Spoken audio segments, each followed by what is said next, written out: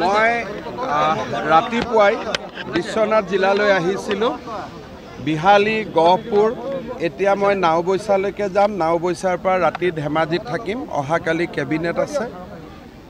গহপুৰত শ্বহীদ কনকলতা বৰুৱাৰ বাসভৱনত যোৱাৰ সৌভাগ্য হ'ল তাতেই শ্বহীদ মুকুন্দ কাকতি কনকলতা বৰুৱা আৰু ৰামপতি ৰাজখোৱাৰ মুক্তিযোদ্ধা ৰামপতি ৰাজখোৱাৰ পৰিয়ালবৰ্গক সাক্ষাৎ কৰিলোঁ। মনৰ কথা বতৰা আমি পাতিলোঁ। কল্যাণী দেৱালয়ৰ লগত আজি দুই তিনি বছৰৰ পৰা ইয়াৰ নিৰ্মাণৰ সৈতে মই কিবা নহয় কিবা প্ৰকাৰে জড়িত হৈ আছোঁ।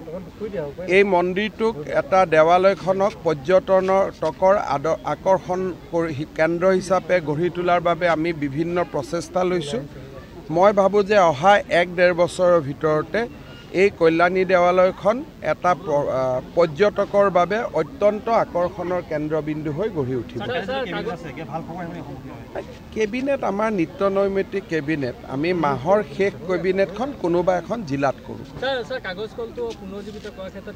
অহাকালি কাগজ কল আমি পুনৰ্জীৱিত নকৰোঁ কিন্তু তাত নতুন উদ্যোগ গঢ়ি তোলা হ'ব।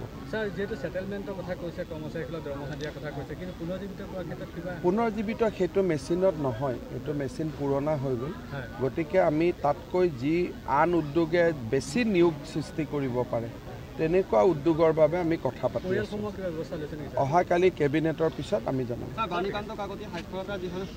ভাল বাকী খবৰ ভাল?